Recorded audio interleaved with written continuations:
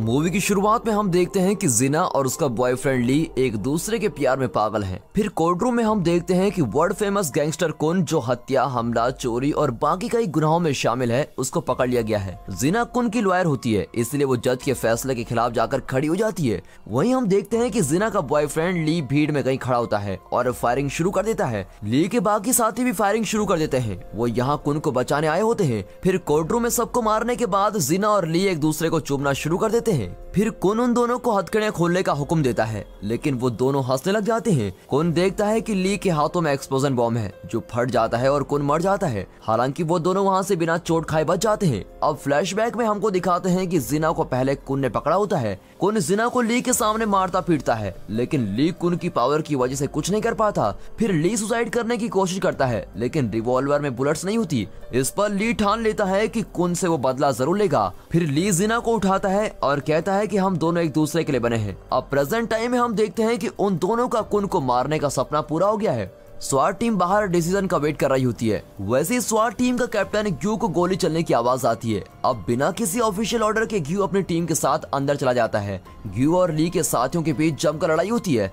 जिना बेहोश होने का दिखावा करती है और ग्यू को पीछे से वॉर करती है। लेकिन ग्यू किसी न किसी तरह से बच जाता है। अब ग्यू, जिना और ली दोनों को पकड़ लेता है। ली ने एक और बम लाया होता है, जिसके कारण ली की जान चली जाती है और ग्यू अंधा हो जाता है। अब दूसरी तरफ़ जीना अपने बॉयफ्रेंड को पकड़ कर रो रही होती है। इसी दौरान जीना को पुलिस पकड़ लेती है। जीना गुस्से में चिल्लाती है कि वो अपने बॉयफ्रेंड को मारने का बदला घी से ज़रूर लेगी। आगे हम देखते हैं कि ग्यू हमेशा के लिए अंधा हो जाता है। ग्यू की फैमिली में उसकी एक बेटी होती है और भाई जैसा दोस्त यन होता है, वो दोनों ग्यू को इस सदमे से बाहर निकालने में मदद करते रहते हैं, जिसे ग्यू सारी रात जूझता रहता है।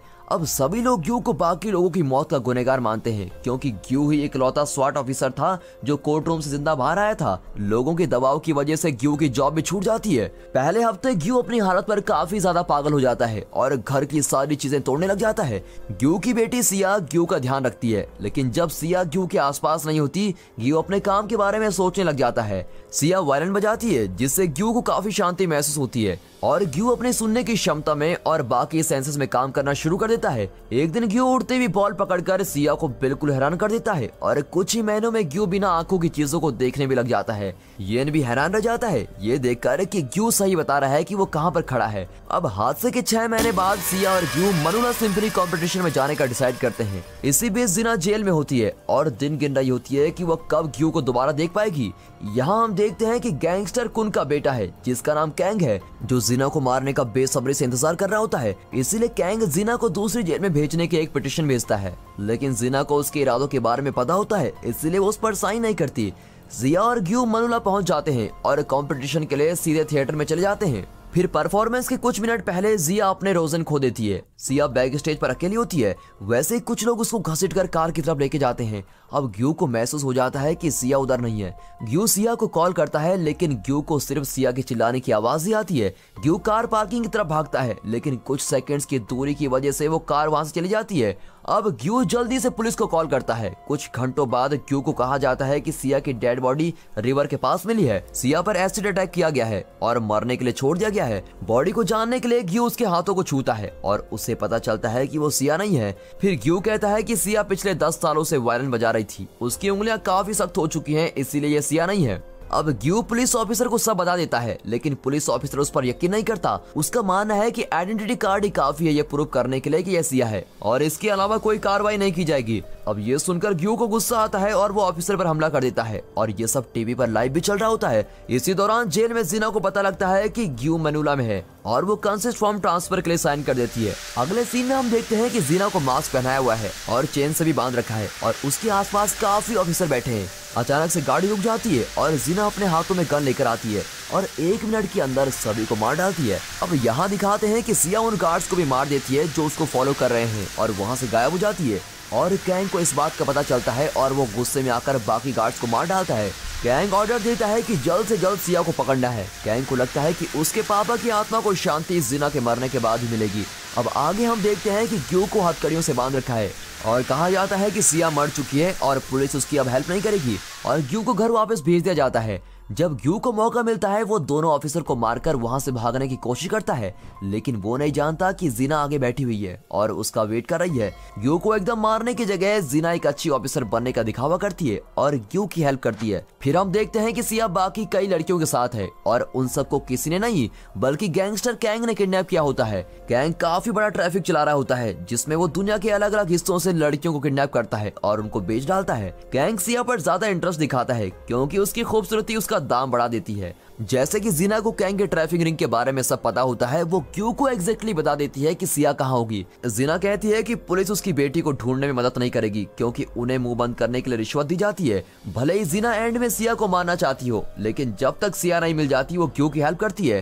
क्यू जीना को बेट की तरह इस्तेमाल करता है, जिससे वो उस जगह पहुँच जाते हैं, जहाँ ट्रैफ़िक गर्ल्स को रखा जाता है? उसकी हेल्प से ग्यू को लोकल लीडर का नंबर मिल जाता है, जो लड़की को बोडी औरत के पास भेजता है। और वो बोडी औरत लड़कियों को चेक करती है कि वो क्लाइंट्स के लिए ठीक है या नहीं। वो औरत जिना को पास कर देती है, लेकिन उसको महसूस हो जाता है कि ग्यू के इरादे सही नहीं है। जिना को अंदर भेजने के बाद वो औरत ग्यू पर गन तान देती है। लेकिन ग्यू को मार डालता है। अब ग्यू जिना को फॉलो करता है, लेकिन दोनों पकड़े जाते हैं। और अब हम देखते हैं कि डार्क वेब पर लड़कियों की लाइव स्ट्रीमिंग शुरू हो चुकी है। एक के बाद एक लड़कियाँ परफॉर्म कर रही हैं और उन्हें बहुत ही ज़्यादा क्लाइंट्स देख रहे होते हैं। जब सिया की बारी आती है तो वो वायलेंट बजाती है। और ये देखकर कैंग लाइव स्ट्रीमिंग को ऑफ़ कर देता है और सिया को अपने लिए रखना चाहता है।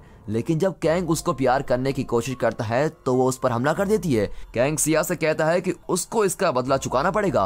वो सिया का प्राइस सिक्स मिलियन यान बढ़ा देता है। अब हम देखते हैं कि जीना को कहीं उल्टा लटका रखा है और क्यू को चेन से बाँध रखा है। फिर यहाँ कैंग की पार्टनर बैथ आती है और जीना को उसके बॉयफ्रेंड की डेथ की याद दिलाती है। फिर जिना उसका मज़ाक उड़ाती है और जिना को पानी के टैंक में डुबाया भी जाता है। अब ग्यू किसी तरह अपनी हथकड़ियाँ खोलने में कामयाब हो जाता है और सभी गैंगस्टर पर भारी पड़ता है।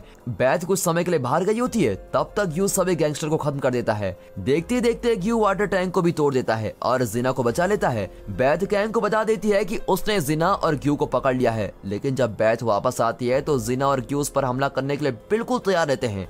वो लोग बैथ को बंदी बना लेते हैं और सिया का पता पूछते हैं। लेकिन बैथ अपना मुँह नहीं खोलती और वो अपना मुँह तब खोलती है जब उसके गले पर कांच का टुकड़ा रखा जाता है।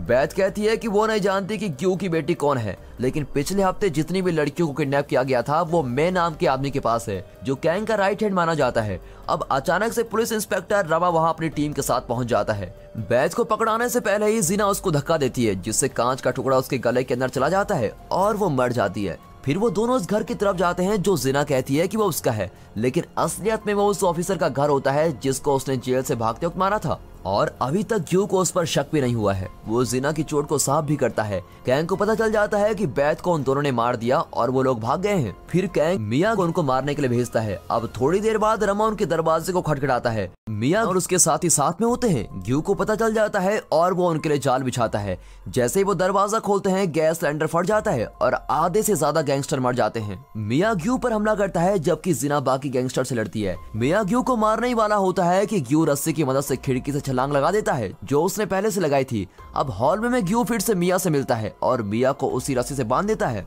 ग्यू ने रस्सी एलिवेटर से जोड़ी होती है और काफ़ी टॉर्चर करने के बाद मिया ग्यू को बताता है कि किडनैप की गई लड़कियाँ कहाँ हैं। वो उन्हें एक स्टोर रूम में लेकर जाता है। ग्यू सभी लड़कियों को आज़ाद कर देता है लेकिन उसको सिया नहीं मिलती। इस पर मिया बोलता है कि सिया बिक चुकी है या कैंग की जगह पर है। अब पुलिस स्टेशन में हम देखते हैं कि ये नाता है और ऑफिसर रमा से केस के बारे में पूछताछ करता है, लेकिन रमा उसको कुछ नहीं बताता। ये इनको लगता है कि उसको अपने फ्रेंड को खुद ही ढूंढना होगा और इसी दौरान ग्यू जिना पर गन रखता है और पूछता है कि वो कौन है। अब ये बात सामने आती है कि जब वो दोनों उस घर पर गए थे, जिसे जिना ने अपना घर बताया था, उधर सड़ी हुई लाश की स्मेल आ रही थी। जिना स्माइल करती है और वही वर्ड्स कहती है जो उसने आखिरी बार अपने बॉयफ्रेंड्स को कहे थे। अब ग्यू पहचान लेता है कि वो कौन है और उसे पागल औरत कहता है।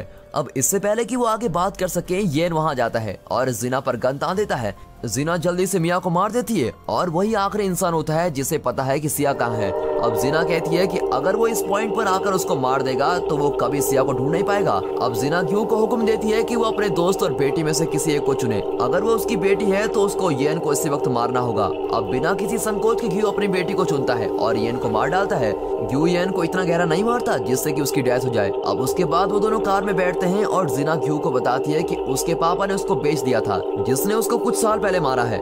जन्म के बाद से उसकी फैमिली सिर्फ़ उसका बॉयफ्रेंड था, इसलिए वो ग्यू को उसकी बेटी के सामने माना चाहती है ताकि उसकी बेटी भी वैसी बन जाए जैसे जीना है। ग्यूस को कहता है कि उसकी यही सजा है, लेकिन इस वक्त उसको जीना की ज़रूरत है। वो दोनों लोकल गन ब्लैक मार्केट में जाते हैं। वो मिडिल मैन होता है जिसने जिना को बेचा था। ग्यूस को मार डालता है और सारे हथियार चोरी कर लेता है। ग्यूस के हाथों से बाउंसिंग बॉल लेना भी नहीं भूलता। आगे हम देखते हैं कि सिया को डार्क वेब के सामने लाया जाता है। कैंग सिया को दो ऑप्शन देता है, या वो उसके साथ रह ले, या किसी अनजान शख्स के साथ। अब सिया कैंग को कहती है की उसके पापा आने वाले है, और वैसे ही गाड़ी गेट तोड़कर अंदर आती है, और जिना बिना देखे फायरिंग शुरू कर देती है। जिना को गाड़ी की वजह से कोई भी गोली नहीं लगती। अब इन सब के बीच ग्यू सिया की तरफ़ बाउंसिंग बॉल फेंकता है, जिससे सिया को पता चल जाता है की ग्यू यही है। सिया वो बॉल पकड़ लेती है और ग्यू का इंतज़ार करती है कि कब वो उसे घर लेकर जाएगा। यहाँ ये बेवकूफ़ गार्ड्स उन दोनों को बाहर ढूँढने चले जाते हैं, जबकि वो दोनों तो घर के अंदर होते हैं। जिना और ग्यू लाइट बंद कर देते हैं और एक एक करके सभी गार्ड्स को मार डालते हैं। आखिर में कैंग सिर्फ़ अपने लॉयर और सिया के साथ बसता है। लॉयर भी कैंग के खिलाफ हो जाता है और फिर कैंग उसको भी मार डालता है। अब कैंग सिया के साथ टाइम बॉम्ब फिक्स कर देता है। लेकिन वैसे ही जिना कैंग को मार डालती है, फिर जिना सिया को चैन से ऊपर लटका देती है। सिया ग्यू की तरफ़ बाउंसिंग बॉल फेंकती है और ग्यू को पता चल जाता है कि सिया कहाँ है। वो सिया को बचा लेता है, लेकिन जिना को मार डालता है। हालाँकि अभी भी खतरा टला नहीं है, सिया पर अभी भी टाइम बॉम्ब लगा हुआ है और वैसे ही येन वहाँ पहुँच जाता है और कहता है की उसका जख्म इतना भी गहरा नहीं है। येन ग्यू को बॉम्ब डिफ्यूज करने के लिए कुछ टूल्स देता है। अब बॉम्ब डिफ्यूज हो जाता है और आखिर में वो तीनों बच जाते हैं। फिर आखिर में हम देखते हैं कि येन और जिया ग्यू को जेल में मिलने आते हैं और फिर वो अपनी लाइफ जीते हैं। तो दोस्तों, जैसा कि आपने देखा कि किस तरह एक ब्लाइंड इंसान ने अपनी योग्यता का इस्तेमाल करके अपनी बेटी को बचा लिया, ज़िंदगी में कुछ भी मुश्किल नहीं होता। जब बात परिवार की आ जाए तो सब कुछ करना पड़ता है। दोस्तों, वैसे तो ये एक थ्रिलर मूवी है, लेकिन आपको इस मूवी का सबसे अच्छा पार्ट और कैरेक्टर कौन सा लगा, हमें कमेंट करके ज़रूर बताइएगा। और अगर आपको ये मूवी अच्छी लगी हो तो मूवी को एक लाइक और चैनल को सब्सक्राइब ज़रूर करें। And finally, thanks for watching.